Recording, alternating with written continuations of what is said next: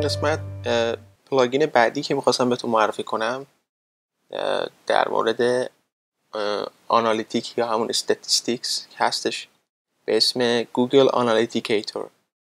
اگر بزنید Google Analyticator اینجا براتون یه plugin ی باز میشه که شما می‌تونید install ش بکنید. اما برای این کار شما احتیاج به یک گوگل analytic account دارید. یعنی اگر برید داخل Google Analytic google.com analytics اینجا بزنید access Google Analytics. شما احتیاج به یه account دارید که حالا account من اینجاست. اما این account رو که مثلا برای وبسایت هست رو من چیکار می‌کنم اینجا؟ باز می‌کنم. بعد می‌بینید که بعد می‌بینید که اینجا می‌تونید activate کنید plugin رو.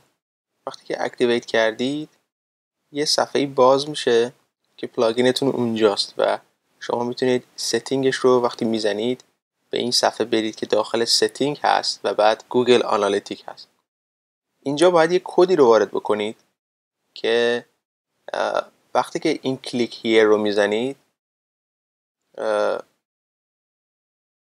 اینجوری یه popup ی براتون وارد میشه. مثلا من account اولم رو وارد می‌کنم و accept رو می‌زنم. و اینجا وقتی accept رو زدم یه کدی به من میده. این کد رو من کپی می‌کنم و میارم اینجا paste می‌کنم. وقتی save and continue رو زدم اولین صفحه که باز میشه تمام اطلاعات analytic رو به من میده. ببین اولا Google Analytic یه وبسایتی رو به شما نشون میده. شما از توی Google Analytics من اینجا درسش رو نمی‌خوام بدم. می‌فهمید که چی داره میگذره به سر وبسایتتون. مثلا اینجا می‌فهمید که مثلا من میفهمیدم که 34 درصد از وبسایتم رو کاربرهای جدید تشکیل دادن. مثلا قسمتی داره به نام او که مثلا لوکیشن رو می‌فهمم می‌بینم که بیشترین کاربرهای من از آمریکا و ایران هستن. حالا آمریکا اول هست و ایران دوم. و می‌بینید که جرمنی و یونایتد کینگدوم که انگلیس و آلمان هست مشتری های بعدی من هستن که مثلا می‌بینید که اینجا زیادتره. خب می‌تونید وبسایتتون رو بر حسب اون اونا تبلیغ بدید خیلی کارهای دیگه انجام بدید بفهمید کدوم مطلب بیشتر توی وبسایت شما طرفدار داره و الی آخر. اما من برگردم صفحه اول اینجا یه refresh بذارم. ببینید توی قسمت ادمین اگر برید برید توی قسمت tracking info و برید داخل tracking code. شما اگر وبسایتتون Google Analytics نداشته باشه می‌تونید این کد رو کپی کنید. این کدی که شما اینجا به Google Analytics به شما میده. بعد بیاید برید داخل appearance و بعد برید داخل دیم و بعد اونجا چیکار بکنید؟ paste ش بکنید و Google Analytics شروع می‌کنه به کار کردن. حالا توی header.php می‌تونید paste ش بکنید. یعنی برید داخل htdocs برید داخل wordpress برید داخل WP Content Themes.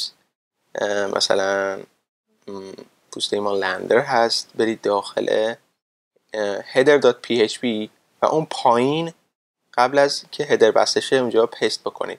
اما وقتی که این plugin رو دارید این رو که نصب کردید این بالا اول می نویسه Google Analytics integration is currently disabled. یعنی فعلا فعال نیست. خب برای این کار باید برید اینو فعال بکنید. وقتی که اینو فعال کردید باید save change رو بزنید ببینید که فعال میشه. و من اینجا همینجوری توی صفحه هوم ریفرش رو می‌زنم که ببینید اوضاع چقدر بعد اینجا میگه آنالیتیک اکانت PTC هست. حالا مخفف پرژن تکنولوژی کامپیوتر هست که من گوشم PTC و این پایین می‌بینید که ترکینگ کد به شما میده. ترکینگ کد رو میگه چجوری می‌خوای انتخاب بکنی. یه دونه داریم سنتی به نام GA GA.js هست. یه دونه دیگه هم به نام analytics.js هست که universal فکر کنم بهترش باشه. و پایین میایید tracking رو نگاه می‌کنید track all logged wordpress user میگه همه اونایی که login می‌کنن رو چک بکنم داخل وردپرس anonymize IP address میگه مخفی کنم. IP address ها رو. و اینجا توضیحاتش رو نوشته. بعد میایم پایین نوشته user role to not track. میگه کی رو track نکنم؟ گفتم فقط administrator که خود من هستم رو track نکن. بقیه رو یه track بکن. بعد پایین می‌بینید که نوشته method to prevent tracking. میگه چه متدی رو انتخاب چه راهی رو انتخاب می‌کنی که ترک نکنه که از کردن جلوگیری کنه. مثلا می‌تونیم ریموو رو بذارید یا یوز ادمین اینا رو زیاد دست نمی‌زنید. می‌خوام فهم پایین به شما بگم اوضاع چه قراره. Enable remarketing demographic and interest report گذاشته نو. اگر خواستید می‌تونید یس بذارید. این می‌تونه چیکار بکنه؟ ترک بکنه اون علاقه و report ها رو که مثلا کجای منطقه مثلا می‌تونید ببینید اون همون چیزی که من الان بهتون نشون دادم. track WordPress login page میگه آیا login page وردپرس رو track بکنم کسی اومده داخل وردپرس login یا نه؟ زیاد مهم نیست اگر track نکنید. اگر e-commerce website دارید track بکنید بد نیست.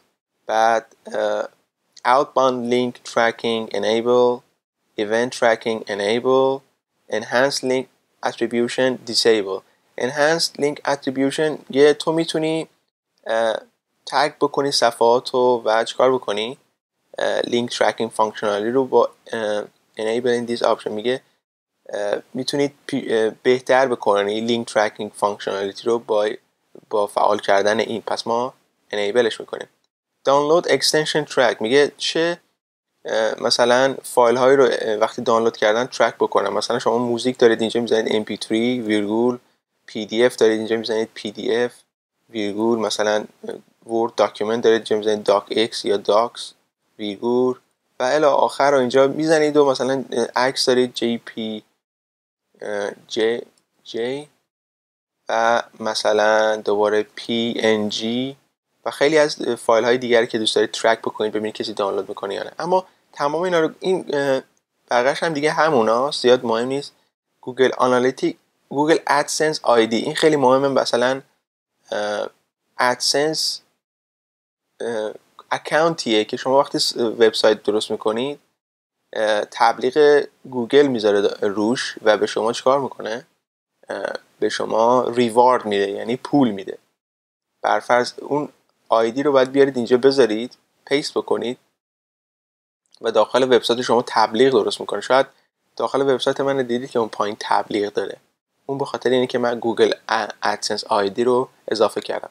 اینجا برای برنامه نویساست چه کدی رو می‌خوای قبل از Google Analytics اضافه کنی چه کدی رو می‌خوای بعدش اضافه کنی و می‌خوای widget به widget ها اضافه بکنی track رو آیا می‌خوای تبلیغ رو نشون بدی داخل صفحه یا نه و اینجا save change رو می‌زنیم. و بعد میریم این بالا داخل داشبوردمون.